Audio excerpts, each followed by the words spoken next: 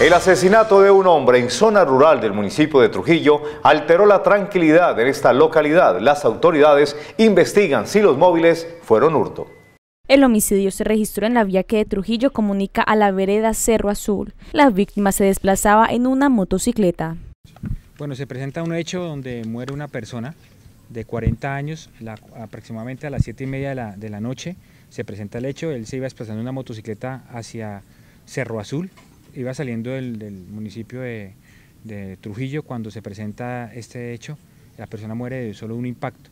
De acuerdo a eso se hacen unas verificaciones, al parecer de acuerdo a la información que tenemos de inteligencia es un ajuste de cuentas, es claro que la moto no aparece, pero estamos en una verificación de acuerdo a, la, a la información allegada por parte de una fuente que tenemos trabajando allá en el municipio de Trujillo. El occiso fue identificado como Germán de Jesús Herrera, de 40 años.